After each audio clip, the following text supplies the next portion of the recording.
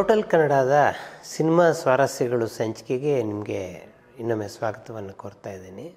ಯಾವುದೇ ಹುಡುಗಿ ಜೀವನದಲ್ಲಿ ಬಹಳ ದೊಡ್ಡ ಪ್ರಶ್ನೆ ಮದುವೆ ಅದು. ಅದರಲ್ಲೂ ಸಿನಿಮಾ ನಟಿಯರು ಅಂದರೆ ಕೇಳಬೇಕೆ, ಯಾವಾಗ ಮದುವೆ ಆಗ್ತಾರೆ, ಯಾರನ್ನು ಮದುವೆ ಆಗ್ತಾರೆ, ಇದೊಂದು ಪ್ರಶ್ನೆ ಇದ್ದೇ ಇರುತ್ತೆ. ಪತ್ರಿಕೆಗಳಲ್ಲಂತೂ ಅದೊಂದು ಗಾಸಿಪ್. ಈಗಾಗಲೇ ಮದುವೆ ಆಗಿಬಿಟ್ಟಿದ್ದಾರೆ, ಈಗಾಗಲೇ ಇಂಥವ್ರ ಜೊತೆಗಿದ್ದಾರೆ. ಅದರಲ್ಲೂ ಮಂಜುಳಾ ಅಂತಹ ಬೋಲ್ಡ್ ಹುಡುಗಿಯ ವಿಷಯದಲ್ಲಿ ತುಂಬ ಆಟ ನಡಿ ಇದಕ್ಕೆ ಬೇರೆ ಬೇರೆ ಥರದ ಕಾರಣಗಳು ಇತ್ತು. ಒಂದು ಪತ್ರಿಕೆ ಒಂದು ಪತ್ರಿಕೆ ಅಂತ ಇಟ್ಕೊಳ್ಳಿ, ಯಾವುದಂತ ಹೆಸರು ಬೇಡ. ಅದರಲ್ಲಿ ಒಂದು ಸಂದರ್ಶನ, ಆ ಕಾಲದ ಖ್ಯಾತ ಪತ್ರಕರ್ತರೊಬ್ಬರು ಸಂದರ್ಶನ ಮಾಡಿದ್ದಾರೆ. ಸಂದರ್ಶನದಲ್ಲಿ ಅನೇಕ ಪ್ರಶ್ನೆಗಳು ಬಂತು. ಸಾಮಾನ್ಯಕ್ಕೆ ಪತ್ರಕರ್ತರು ಕೇಳುವ ಪ್ರಶ್ನೆ ಹುಡುಗಿ, ಮದುವೆ ವಯಸ್ಸಿನ ಹುಡುಗಿ, ಒಂದು ಇಪ್ಪತ್ತೈದು, ಇಪ್ಪತ್ತಾರು ಅಂತಂದ್ರೆ ಯಾಕಿನ್ನೂ ಮದುವೆ ಆಗಿಲ್ಲ ಅಂತ. ಈ ಪತ್ರಕರ್ತರನ್ನು ಪತ್ರಕರ್ತರು ಕೂಡ ಇದೇ ಪ್ರಶ್ನೆಯನ್ನು ಕೇಳಿದ್ದಾರೆ. ಮಂಜುಳಾ ತುಂಬ ನೇರವಾದ ಉತ್ತರ ಹೇಳಿದ್ದಾರೆ. ಈಗ ಸಾಮಾನ್ಯಕ್ಕೆ ಹುಡುಗಿಯರನ್ನ ಮದುವೆ ಆಗಬೇಕಾದ್ರೆ ಹುಡುಗರು ನೂರೆಂಟು ಕ್ವಾಲಿಫಿಕೇಷನ್ನು ಪಟ್ಟಿ ಕೇಳ್ತಾರೆ. ಅದರಲ್ಲೂ ನಾವು ಸಿನಿಮಾದಲ್ಲಿರೋರು, ಸಿನಿಮಾದಲ್ಲಿರೋರ ಮೇಲೆ ಒಂದು ಸಣ್ಣ ಗುಮಾನಿ ಇದ್ದೇ ಇರುತ್ತೆ. ನಮ್ಮ ಮದುವೆ ಆಗೋದು ಇನ್ನೊಂದಿಷ್ಟು ಸವಾಲು, ಇಷ್ಟು ಸುಲಭದ ವಿಷಯ ಅಲ್ಲ ನೀವು ತಿಳ್ಕೊಂಡಷ್ಟು. ನಾನೊಂದು ಪ್ರಶ್ನೆ ನೇರವಾಗಿ ಕೇಳ್ತೀನಿ. ನೀವು ಮದುವೆ ಆಗ್ತೀರ ನನ್ನ ಅಂತ ಕೇಳ್ತಾರೆ. ಇದು ಅವರ ಪ್ರಶ್ನೆಗೆ ಇವರು ಉತ್ತರ ಕೊಟ್ಟ ರೀತಿ, ಮಂಜುಳ ಮಾತಾಡ್ತಿದ್ದ ರೀತಿನೇ ಅದು. ಆದರೆ ಅದು ತುಂಬ ದೊಡ್ಡ ಸುದ್ದಿ ಆಗುತ್ತೆ ಮತ್ತು ಈ ಪತ್ರಕರ್ತರು ಮತ್ತು ಮಂಜುಳಾ ಒಂದೇ ಜನಾಂಗಕ್ಕೆ ಸೇರಿದವರಾದ್ದರಿಂದ ಇದಕ್ಕೆ ಇನ್ನೊಂದಿಷ್ಟು ಕಾಲು ಪುಕ್ಕ ಬೆಳೆಯುತ್ತೆ. ಇದ್ರ ಜೊತೆಗೆ ಪತ್ರಿಕೆಗಳಲ್ಲಿ ಮಂಜುಳಾ ಅವರ ಹೆಸರು ಬೇರೆ ಬೇರೆ ಕಲಾವಿದರ ಜೊತೆಗೆ ಸೇರಿ ಬರ್ತಾನೆ ಇರುತ್ತೆ.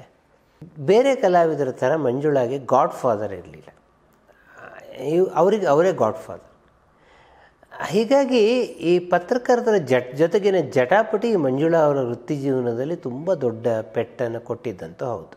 ಪತ್ರಕರ್ತರ ಪ್ರಶ್ನೆಗಳಿಗೆ ಮಂಜುಳಾ ತುಂಬ ನೇರವಾಗಿ ತರಾಟೆಗೆ ತೆಗೆದುಕೊಳ್ತಾ ಇದ್ದಿದ್ದಿದೆ ಈ ತರಾಟೆ ಇನ್ನೊಂದು ಜಗಳಕ್ಕೆ ಕನ್ವರ್ಟ್ ಆಗಿ ಮಂಜುಳಾ ಅವ್ರ ಬಗ್ಗೆ ನಾ ಹಿಂದೆ ಹೇಳಿದ ಹಾಗೆ ಚಾರಿತ್ರವಾದಿಯ ರಿಪೋರ್ಟ್ಗಳು ಕೂಡ ಬರ್ತಾ ಇತ್ತು. ಇದ್ರ ಜೊತೆಗೆ ಇನ್ನೊಂದು ಸಮಸ್ಯೆ ಮಂಜುಳಾ ಅವ್ರಿಗಿತ್ತು. ಅದು ಅವರ ಕುಟುಂಬದ ವೈಯಕ್ತಿಕ ವಿಷಯ.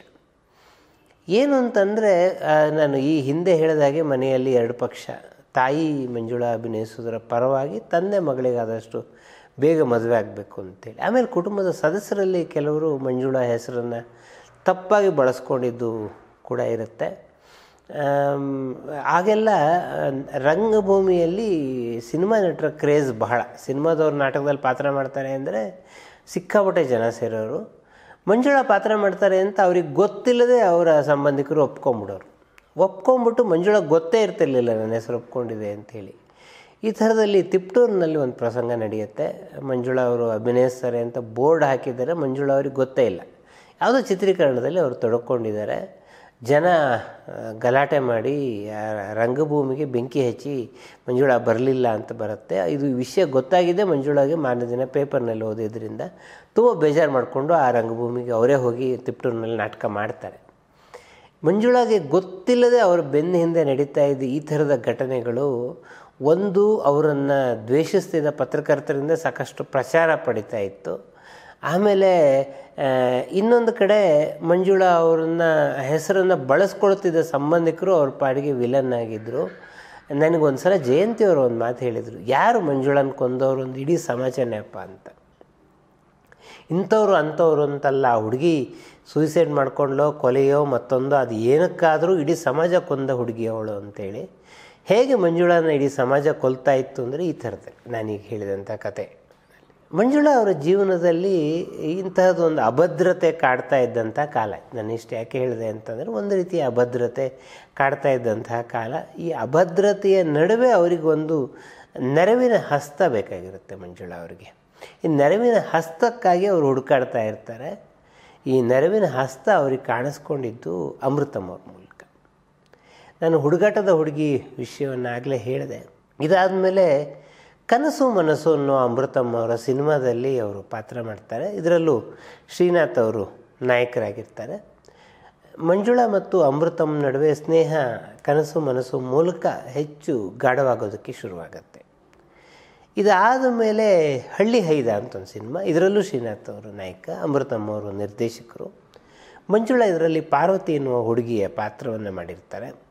ಒಬ್ಬ ಹಳ್ಳಿಯ ಹೈದನನ್ನು ಈ ಸಮಾಜ ಹೇಗೆ ಶೋಷಣೆ ಮಾಡುತ್ತೆ ಅನ್ನೋದು ಒಂದು ಕತೆ ಆದರೆ ಅವನ ಬೆಂಬಲಕ್ಕೆ ನಿಲ್ಲುವ ಹುಡುಗಿಯ ಪಾತ್ರವನ್ನು ಮಂಜುಳಾ ಮಾಡಿರ್ತಾರೆ.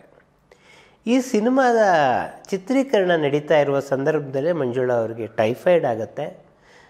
ಟೈಫಾಯ್ಡ್ ಜ್ವರದಿಂದ ಅವರು ತಕ್ಕ ಮಟ್ಟಿಗೆ ಸುಧಾರಿಸ್ಕೊಂಡು ಕೂಡಲೇ ಚಿತ್ರೀಕರಣಕ್ಕೆ ಬರೋದಕ್ಕೆ ಶುರು ಮಾಡ್ತಾರೆ. ಯಾಕೆಂದರೆ ನಿರ್ಮಾಪಕರಿಗೆ ತೊಂದರೆ ಆಗಬಾರ್ದು ಅನ್ನೋ ಕಾರಣಕ್ಕೆ.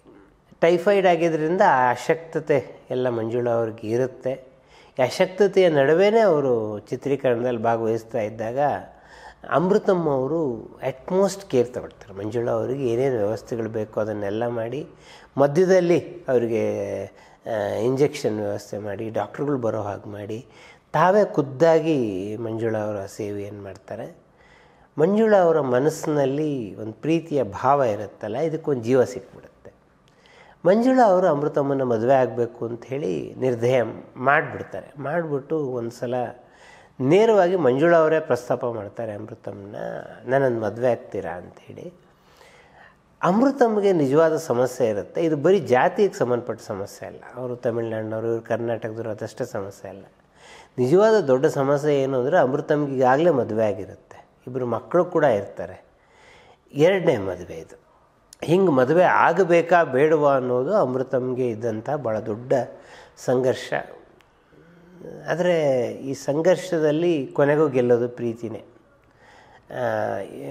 ಮ- ಅಮೃತಮ್ ತಮಗೆ ಬಹಳ ಹತ್ತಿರವಾದ ಆರ್ ಎನ್ ಜಯಗೋಪಾಲ್ ಅವರನ್ನು ಭೇಟಿ ಮಾಡಿ ಕೇಳ್ತಾರೆ. ಜಯಗೋಪಾಲ್ ಇದಕ್ಕಿದ್ದ ಕಾನೂನಿನ ತೊಡಕುಗಳನ್ನೆಲ್ಲ ವಿವರಿಸ್ತಾರೆ. ಆದರೆ ಇದು ಯಾವುದನ್ನು ಮಂಜು, ಅಮೃತಮ್ ಕೇಳೋ ಪರಿಸ್ಥಿತಿನಲ್ಲಿ ಇರಲ್ಲ.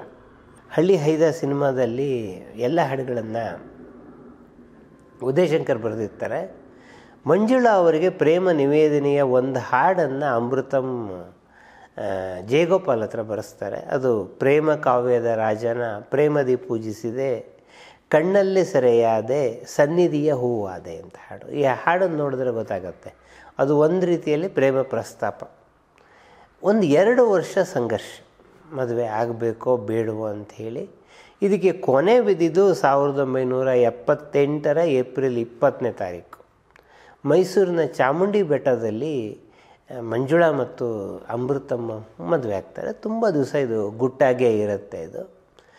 ಗುರು ಶಿಷ್ಯರು ಚಿತ್ರದ ಶತದಿನೋತ್ಸವ ಕಾರ್ಯಕ್ರಮ, ಅಮೃತಮ್ಮ ಅವ್ರ ಕೂಡ ಬಂದು ಕೂತಿದ್ದಾರೆ. ಮಂಜುಳಾ ಅವ್ರಿಗೆ ತುಂಬ ಅನಿಸುತ್ತೆ ನಾನು ಸನ್ಮಾನ ಸ್ವೀಕರಿಸುವಾಗ ನನ್ನ ಗಂಡ ಅಲ್ಲೆಲ್ಲೋ ಕೂತಿರೋದು ಸರಿ ಅಲ್ಲ ಅಂಥೇಳಿ ಮದುವೆಯಾಗಿ ಮೂರು ವರ್ಷ ನೋಡಿ ಮೂರು ವರ್ಷದ ನಂತರ ದ್ವಾರಕೀಶ್ ಅವ್ರಿಗೆ ಹೇಳ್ತಾರೆ, ಇದು ರೈಟ್ ಟೈಮ್ ಅನೌನ್ಸ್ ಮಾಡೋದಕ್ಕೆ ಅಂಥೇಳಿ. ದ್ವಾರಕೀಶ್ ಅವರು ಮಂಜುಳಾ ಅವ್ರನ್ನ ಕರೆದು ಸನ್ಮಾನ ಮಾಡುವ ಸಂದರ್ಭದಲ್ಲಿ ಹೇಳ್ತಾರೆ, ಅವ್ರ ಗಂಡ ಕೂಡ ಇಲ್ಲೇ ಕೂತಿದ್ದಾರೆ, ಅವರನ್ನು ಕೂಡ ವೇದಿಕೆ ಕರಿತೀನಿ ಅಂತ ಅಮೃತಮ್ಮನ ಕರೀತಾರೆ. ಇಡೀ ಚಿತ್ರರಂಗ ಮಾತ್ರ ಅಲ್ಲ, ಇಡೀ ಮಾಧ್ಯಮ ಲೋಕ ಕೂಡ ಬೆಚ್ಚಿ ಬೀಳುತ್ತೆ. ಯಾಕೆಂದರೆ ಮೂರು ವರ್ಷ ಮಂಜುಳಾ ಆಗಿ ಅದನ್ನು ಗುಟ್ಟಾಗಿಟ್ಟಿದ್ರು. ಯಾರಿಗೂ ಈ ವಿಷಯ ಗೊತ್ತಾಗಿರಲಿಲ್ಲ ಅಂಥೇಳಿ ಭಾಳ ಆಶ್ಚರ್ಯ ಹೇಗೆ ಇದನ್ನು ಮೇಂಟೈನ್ ಮಾಡಿದರು ಅಂಥೇಳಿ. ಆಮೇಲೆ ಮಂಜುಳಾ ಅವರ ಹಿತಶತ್ರುಗಳಿಗೂ ಕೂಡ ಇದನ್ನು, ಇದು ಸಾಧ್ಯ ಆಯ್ತು ಹುಡುಗಿ ಮದುವೆ ಆಗಿಬಿಟ್ಲಿಲ್ಲ ಅನ್ನೋ ಹೊಟ್ಟೆ ಕಿಚ್ಚು. ಮಂಜುಳಾ ಅವರ ಜೀವನ ಒಂದು ರೀತಿಯಲ್ಲಿ ಗೆಲುವನ್ನು ಕಾಣುತ್ತೆ. ಈ ಗೆಲುವು ಇನ್ನೊಂದು ರೀತಿಯ ಸವಾಲಿಗೆ ಕಾರಣ ಆಗುತ್ತೆ. ಈ ಸಂದರ್ಭದಲ್ಲಿ ಅವರು ರೂಪ್ತಾರದಲ್ಲಿ ಒಂದು ಸಂದರ್ಶನ ಬಂದಾಗ ಒಂದು ಪ್ರಶ್ನೆ ಬರುತ್ತೆ. ಮದುವೆ ಆದಮೇಲೆ ನಾಯಕಿಯರಿಗೆ ಹಾಗಾದ್ರೆ ಬೇಡಿಕೆ ಇರಲ್ವಾ ಅಂದಾಗ ಮಂಜುಳಾ ಹೇಳ್ತಾರೆ. ಯಾರು ಹಾಗೆ ಹೇಳಿದ್ದು? ಕನ್ನಡ ಹೀರೋಯಿನ್ಗಳನ್ನು ನೀವು ಪಟ್ಟಿ ಮಾಡಿ, ಎಲ್ಲ ಕರಿಮಣಿ ನಾಯಕರೇ, ನೀವು ಸರೋಜಾದೇವಿ ತಗೊಳ್ಳಿ, ಜಯಂತಿ ತಗೊಳ್ಳಿ, ಆರತಿ ತಗೊಳ್ಳಿ, ಎಲ್ಲ ಮದುವೆ ಆಗಿಲ್ವೇ ಇವರೆಲ್ಲ ಅಂತ ಕೇಳ್ತಾರೆ. ಹಾಗಾದ್ರೆ ನೆ, ಮುಂದಿನ ಪ್ರಶ್ನೆ ಏನು ಅಂತಂದರೆ, ನೀವು ಮದುವೆ ಆಗಿದ್ರು ಮುಚ್ಚಿಟ್ಟಿದ್ದೆ ಯಾಕೆ? ಅವರೆಲ್ಲ ಮದುವೆ ಆದ್ರೆ ಒಪ್ಕೊಂಡಿದ್ದಾರೆ. ನೀವು ಮುಚ್ಚಿಟ್ಟಿದ್ರಲ್ಲ ಯಾಕೆ? ಅಂತ ಕೇಳ್ತಾರೆ. ಅವಾಗ ಮಂಜುಳಾ ತುಂಬ ಚೆನ್ನಾಗಿ ಉತ್ತರ ಹೇಳಿದ್ದಾರೆ. ಮದುವೆ ಅನ್ನೋದು ನನ್ನ ಖಾಸಗಿ ವಿಷಯ, ಅದನ್ನು ನಾನು ಮಾರಾಟದ ವಸ್ತು ಆಗಿಡ್ಬೇಕಾ ನಾನು ಮದುವೆ ಆಗಿರ್ತೀನೋ, ಬಿಡ್ತೀನೋ?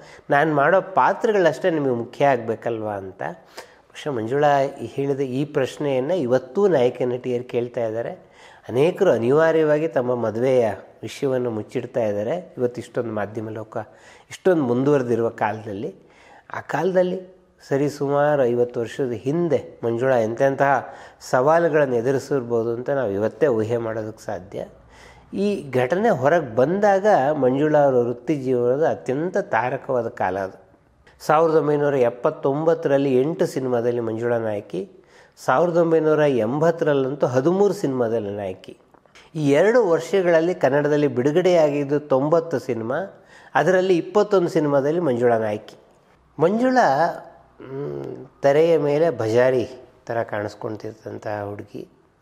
ಆದರೆ ನಿಜೀವನದಲ್ಲಿ ತುಂಬ ಮುಗ್ಧೆ. ತಮ್ಮ ಒಂದು ಸಂದರ್ಶನದಲ್ಲಿ ಮಂಜುಳಾನ ಹೇಳ್ಕೊಂಡಿದ್ದಾರೆ, ನಾನು ತೆರೆಯ ಮೇಲೆ ಕಾಣಿಸ್ಕೊಳ್ಳುವ ಬಜಾರಿ ಕೂಡ ಅಲ್ಲ, ದೇವತೆ ಕೂಡ ಅಲ್ಲ ಕೂಡಲ್ಲ ಒಬ್ಬ ಸಾಮಾನ್ಯ ಹೆಂಗಸು, ಒಬ್ಬ ಸಾಮಾನ್ಯ ಹೆಣ್ಣಾಗಿ ನನ್ನನ್ನು ಈ ಸಮಾಜ ಬದುಕೋಕ್ಕೆ ಬಿಡಲೇ ಇಲ್ಲ ಕೊನೆವು. ರಣಹದ್ದುಗಳ ಥರ ನನ್ನ ಜೀವನವನ್ನು ಕುಕ್ಕಿ ಕುಕ್ಕಿ ತಿಂತಾ ಬಂತು ಅಂಥೇಳಿ. ಅವರಿಗೆ ಗೊತ್ತಿಲ್ಲದ ರಾಜಕೀಯ ಲೆಕ್ಕಾಚಾರಗಳು ಮಂಜುಳಾ ಅವರ ಸುತ್ತಮುತ್ತ ಓಡಾಡ್ತಾ ಇತ್ತು. ಸಾವಿರದ ಒಂಬೈನೂರ ಎಪ್ಪತ್ತೆಂಟರಲ್ಲಿ ಮಂಜುಳಾ ಎಂ ಎಲ್ ಸಿ ಆಗಬೇಕಾಗಿತ್ತು. ಕಾಂಗ್ರೆಸ್ ಪಕ್ಷ ಅವರನ್ನು ಎಂ ಎಲ್ ಸಿ ಸ್ಥಾನಕ್ಕೆ ಆಯ್ಕೆ ಮಾಡಿತ್ತು. ಮಂಜುಳಾ ಅಮೃತಮ್ಮನ್ನು ಮದುವೆ ಆಗ್ತಾರೆ. ಮಂಜುಳಾ ಅವರನ್ನು ವಿವಾಹವಾದಂತಹ ಅಮೃತಮ್ ತಮಿಳುನಾಡಿನ ಹಿರಿಯ ನಾಯಕ ಡಿ ಎಂ ಕೆ ಧುರೀಣ ಮಾಜಿ ಮುಖ್ಯಮಂತ್ರಿಗಳು ಕೂಡ ಆದ ಕರುಣಾನಿಧಿಯವರ ಸೋದರಳಿಯ. ರಾಜಕೀಯದ ನಂಟನ್ನು ಇಟ್ಕೊಂಡಂಥವರು ಡಿ ಎಂ ಕೆ ಚಳುವಳಿಯಲ್ಲಿ ಕೂಡ ಸಕ್ರಿಯರಾಗಿದ್ದಂಥವರು ಅನೇಕ ತಮಿಳು ಸಿನಿಮಾಗಳಿಗೆ ಕೂಡ ನಿರ್ದೇಶಕರು, ಕನ್ನಡದಲ್ಲಿ ಕೂಡ ಅನೇಕ ಸಿನಿಮಾಗಳು ಮಾಡಿದ್ದಾರೆ. ಅದರಲ್ಲಿ ಬಹುತೇಕ ಮಂಜುಳಾನೇ ಹೀರೋಯಿನ್. ನಾನು ಈಗಾಗಲೇ ಹೇಳಿದಾಗೆ ಹುಡುಗಾಟದ ಹುಡುಗಿ, ಕನಸು ಮನಸ್ಸು ಹಳ್ಳಿ ಹೈದ, ಈ ಥರದ ಸಿನಿಮಾಗಳನ್ನು ಅಮೃತಮ್ಮವರು ಮಾಡಿದ್ದಾರೆ. ಡಿ ಎಂ ಕೆ ಕಾಂಗ್ರೆಸ್ಗೆ ವಿರುದ್ಧವಾದ ಪಕ್ಷ, ಎಮರ್ಜೆನ್ಸಿಯಲ್ಲಿ ಹೋರಾಡಿದಂಥ ಪಕ್ಷ ಅಮೃತಮ್ಮನ ಮದುವೆ ಆದ ಕಾರಣಕ್ಕೆ ಮಂಜುಳಾ ಎಂ ಎಲ್ ಸಿ ಆಗುವ ಅವಕಾಶವನ್ನು ಕಳ್ಕೊಳ್ತಾರೆ ನೋಡಿ, ಜೀವನದಲ್ಲಿ ಏನೇನು ಆಟಗಳು ನಡೆಯುತ್ತೆ ಅಂತೇಳಿ ಇನ್ನೊಂದು ಕಡೆಗೆ ಅಮೃತಮ್ ಕರುಣಾನಿಧಿಯವರ ಸೋದರಳಿಯ ರಾಜಕೀಯದಲ್ಲಿ ಸಕ್ರಿಯವಾಗಿದ್ದವರು ಮತ್ತು ತಮ್ಮ ಸೋದರ ಮಾವನ ಮೂಲಕ ಸಾಕಷ್ಟು ಪ್ರಚಾರವನ್ನು ಕೂಡ ಮಾಡಿದಂಥವರು. ಆದರೆ ತಮಿಳುನಾಡಿನ ರಾಜಕೀಯದಲ್ಲಿ ಬೇರೆ ಥರದ ಬದಲಾವಣೆಗಳಾಗತ್ತೆ. ಸಾವಿರದ ಒಂಬೈನೂರ ಎಪ್ಪತ್ತಾರರ ಜನವರಿ ಮೂವತ್ತೊಂದನೇ ತಾರೀಕು ಕರುಣಾನಿಧಿ ಅಧಿಕಾರ ಕಳ್ಕೊಳ್ತಾರೆ. ಎಂ ಜಿ ರಾಮಚಂದ್ರನ್ ಅಧ್ಯಕ್ಷ ಮುಖ್ಯಮಂತ್ರಿಯಾಗಿ ಅಧಿಕಾರ ಸ್ವೀಕರಿಸ್ತಾರೆ. ತಮಿಳುನಾಡಿನಲ್ಲಿ ಡಿ ಎಂ ಕೆ ಮತ್ತು ಎ ಡಿ ಕೆ ನಡುವಿನ ಜಗಳಕ್ಕೆ ಬಹಳ ದೊಡ್ಡ ಇತಿಹಾಸ ಇದೆ ನಿಮ್ಗೆ ಗೊತ್ತಿದ್ದ ಹಾಗೆ. ಅದು ಒಂದು ರೀತಿಯಲ್ಲಿ ಬರೀ ರಾಜಕೀಯ ಅಷ್ಟೇ ಅಲ್ಲ, ವೈಯಕ್ತಿಕ ದ್ವೇಷದ ಮಟ್ಟದ ರಾಜಕೀಯ. ಮುಂದೆ ಹನ್ನೆರಡು ವರ್ಷ ಎಂ ಜಿ ಆರ್ ಮುಖ್ಯಮಂತ್ರಿ ಆಗ್ತಾರೆ, ಕರುಣಾನಿಧಿ ವಾಪಸ್ ಅಧಿಕಾರಕ್ಕೆ ಬರೋಕ್ಕೆ ಆಗಲ್ಲ. ಈ ಹನ್ನೆರಡು ವರ್ಷವೇ ಮಂಜುಳಾ ಅವರ ದಾಂಪತ್ಯ ನಡೆದಂತಹ ಕಾಲ. ತಮ್ಮದಲ್ಲದ ತಪ್ಪಿಗೆ ಮಂಜುಳಾ ಅವರು ಅನೇಕ ರಾಜಕೀಯ ಸಂಘರ್ಷಗಳನ್ನು ಎದುರಿಸ್ಕೊಳ್ತಾ ಬರಬೇಕಾಗತ್ತೆ. ಒಂದು ಸಂತೋಷದ ಸಂಗತಿ ಮಂಜುಳಾ ಅವರಿಗೆ ಸಿಕ್ಕಿದ್ದು ಸಾವಿರದ ಒಂಬೈನೂರ ಎಂಬತ್ನಾಲ್ಕರ ಜೂನ್ ಐದನೇ ತಾರೀಕು ಅವರ ಮಗ ಅಭಿಷೇಕ್ ಹುಟ್ಟಿದ್ದ. ಆದರೆ ಸಂತೋಷವನ್ನು ಕೂಡ ಅವರು ಅನುಭವಿಸೋಕ್ಕಾಗಲ್ಲ. ಜೀವನ ಯಾವುದ್ಯಾವುದೋ ರೀತಿಯ ತಿರುವುಗಳನ್ನು ತೆಗೆದುಕೊಳ್ಳದಿದ್ದಂತಹ ಕಾಲ. ತನ್ನದು ಏನೂ ತಪ್ಪಿಲ್ಲದೆ ಮಂಜುಳಾ ಅವರು ಅನೇಕ ಸಮಸ್ಯೆಗಳನ್ನು ಎದುರಿಸ್ಕೊಳ್ತಾ ಬಂದಂತಹ ಕಾಲ ಇದು. ಪ್ರೇಮ ಫಲಿಸಿದೆ ದಾಂಪತ್ಯ ಸಿಕ್ಕಿದೆ, ದಾಂಪತ್ಯವನ್ನು ಅನುಭವಿಸೋದಕ್ಕಾಗ್ತಾ ಇಲ್ಲ. ಏನಾಯಿತು? ನಾನು ಮುಂದಿನ ಸಂಚಿಕೆಯಲ್ಲಿ ನಿಮಗೆ ಹೇಳ್ತೀನಿ.